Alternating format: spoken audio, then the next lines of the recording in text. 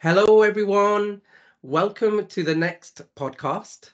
It's called Architecting Success The Gabor Sulok Story Navigating the Convergence of IT Strategy and Business Innovation.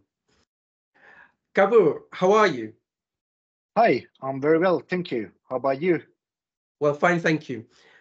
Could you walk us through your career journey, highlighting how you transitioned between roles and industries to become an enterprise architect? Yes, of course. Uh, so I started in a generic uh, system engineering IT consulting position, delivering end-to-end solution for a big US-based uh, energy group called Itron. So I really enjoyed working in a multinational international environment that was a great foundation for me. However, um, I started to feel an increased passion for seeing the strategic impact of IT and technologies on business. So, because I came from IT and I wanted to know the other side, the business, because everything starts with business, with a business vision, business strategy, even if it's not written. So, for me, each role transition added a new perspective, uh, different industries, local specialties, etc. And then I ended up in a role of enterprise architect. So first I was employed, and then I created my consulting company. But but I wanted to highlight that it's no matter what's your path, business, IT, or specific industry, you can become an enterprise architect or more importantly, you can have a mindset to oversee a whole enterprise at a strategic level.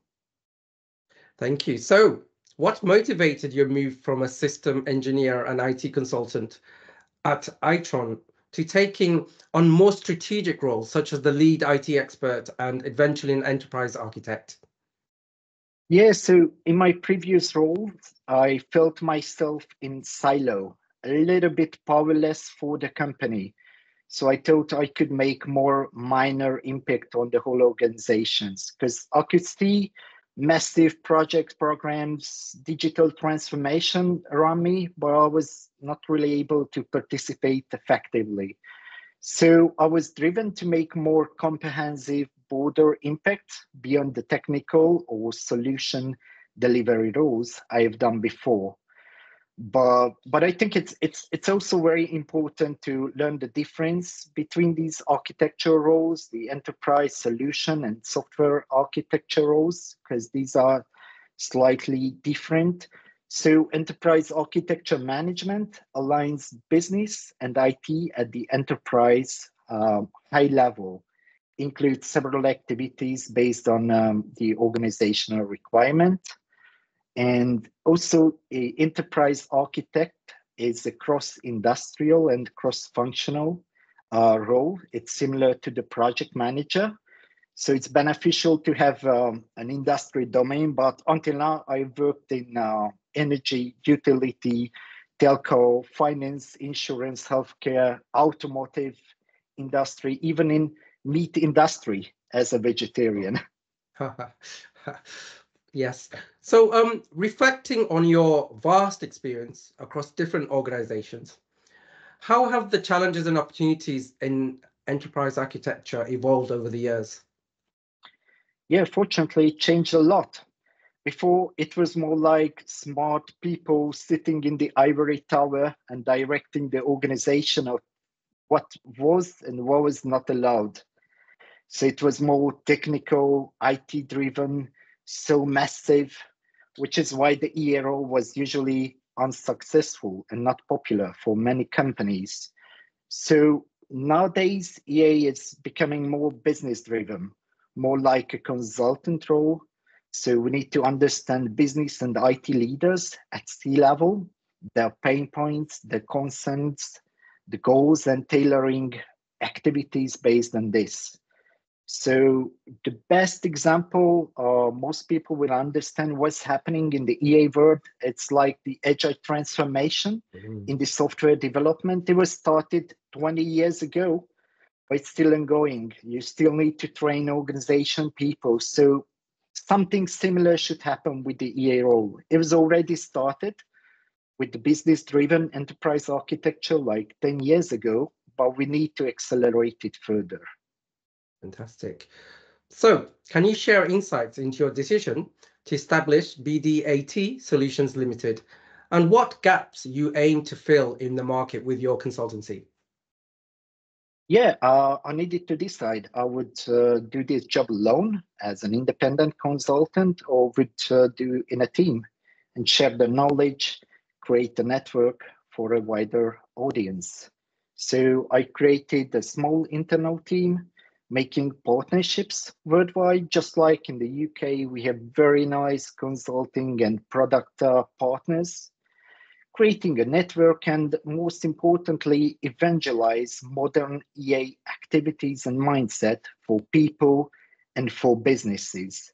So, you know, we are just a tiny fish in the ocean, but, but it's still important that organizations and consulting companies now realize the benefit of adopting and using modern EA practices. So, um, as an organization, we can help them providing guidance, methodology, advice, and of course, consultants um, achieving their business goals and uh, help with uh, with uh, with them with the help of um, of enterprise architecture. But uh, but as I mentioned, you we have beautiful partnerships, consulting companies, tool providers, and I hope we can build a great community together. And um, Tim, I also wanted to mention you. Then I know that the EA is inside you because I've seen that you have shared business capabilities, uh, strategic solution selection on LinkedIn. So that's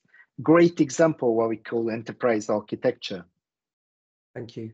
So during your career, you mostly worked with large corporations. How did the work affect you at the startups or SMEs? Yeah, it is currently mainly for a privilege of large companies to employ an EA or contract with enterprise consultants.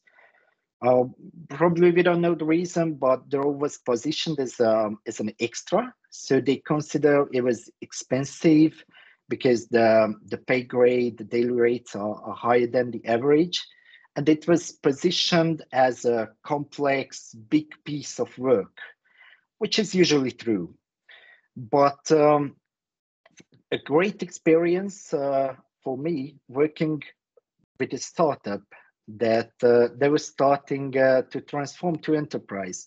So, for example, for them, they needed to create organizational structure, governance, policy, and their IT ecosystem became increasingly complex. So, we could help them uh, with the largest program um, integrate with one of the most strictly industrial partners in the manufacturing and that was generated a lot of change uh, inside this uh, company so for me it was all motivated to create a value proposition for startups and small medium sized businesses so they can borrow ea they can get flexible mm-hmm. resources, focus on a scope which creates the most value for them.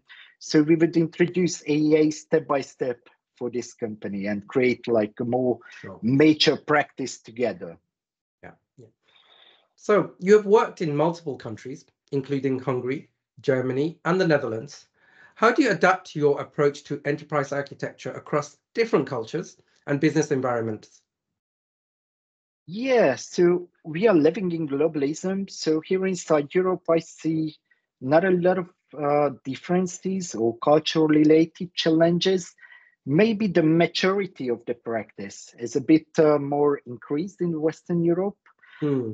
Culturally, I, I I feel the biggest problem is the lack of involvement of women which is probably oh, yeah. true for the whole IT industry, sure, sure. but especially here in this ivory tower affected EA environment that's highly um, uh, affected. Um, so the profession of EA needs to be promoted correctly to women. That's uh, what I really think, uh, especially because I could see many women colleagues becoming great EA in yeah. in a very short one two years of period they could convert it from business from it related roles so my future plan really includes to promoting more gender diversity in architectural management. Thank you. So your profile mentions a strong focus on aligning business goals with IT strategies. Can you provide an example of a project where this alignment dramatically impacted business outcomes? Yeah, so often we put a lot of effort into our daily jobs, including assessing the current state of architecture, engaging with business, understanding business strategy, creating future state uh, with the roadmap. So we can use these outcomes for planning projects right time, right ways, using the right technologies, using resources better, and many more. But uh, here is one very specific example uh, what is the benefit of adapting ea mindset and working with ea so once we figure out that one company group uses one specific capability still both solutions they were using both data they were using multiple times there was around uh, about a, a topography map solution so once we optimize the portfolio within the group uh, and the licenses, we could save instantly 1.5 million euros. And it was like within two, three months uh, of work. So sometimes we can cherry pick and create outstanding uh, results by connected the right people um, around the specific area that sounds familiar for you, yeah. Tim, isn't it? Definitely, definitely. So, given your extensive experience uh, and certification and continuous professional development, how important do you believe ongoing education and certification are in the field of IT and enterprise architecture? Yeah, so uh, for me, certifications confirm that I know a topic at the desired level. So they are beneficial sometimes, sometimes required by customers, by companies. But what I really think that the word transforming, uh, learning smaller chunks, but more frequently than before. So because of the pace of change of new technologies, solution methodologies, business models, so many changes around us. So in the world of EA, we need to know about the industry we are working in, generic business models, business capabilities, processes, different methodologies, um, not just in the field of EA, but like IT service management, ITIL, project management, PMBOK, Prince2, yes. agile practices, uh, COBIT for IT governance, security, etc. But the good news is we don't need to have a hands-on knowledge, but more like a broader, high-level uh, knowledge of these uh, um, uh, methodologies. Fantastic. So reflecting on your volunteer experience as a project management mentor, what have been the most rewarding aspects of mentoring emerging talents in science and technology? Yes, so sometimes people just need insight into how they work and what they do in real life. So it can be applied to different roles. Um, PMI Hungarian chapter has a program they repeat yearly where seniors and juniors can be connected together in sharing knowledge, experience, as well as supporting their effort for juniors developing their self or supporting their project. So that would be great creating something similar in the world of EA. So I'm going to work on it in the future. Fabulous. So finally, looking to the future, how do you see the role of enterprise architects evolving with the advent of new technologies such as AI, blockchain, and IoT? Yeah, we have many things to do, such as with AI, which is game changer. So it will affect many part of our life, our work. In practice, it means that we need to change the way we work, and there will be affected the whole enterprise, the whole enterprise architecture, then we need to plan properly. So in addition, these technologies, especially AI, can support our work, can help handling large amount of data, can create architecture can make recommendation. Uh, so I see a lot of uh, a lot of change in the near future. Um, also with new technologies or new generation uh, solution, just like yeah. SAP S4HANA, we need to support properly um, um, in as an as an EA. So also we need to stay up to date with this technology so we can support organizations creating the vision, the roadmap, uh, which is feasible and create the most value for enterprise. That's why it's essential to use proper EA practices. Ah, fabulous. Thank you so much, Gabor. It's been insightful, educational, and definitely we will do something in the future again. Have a good day. Thank you. You too. Thank you.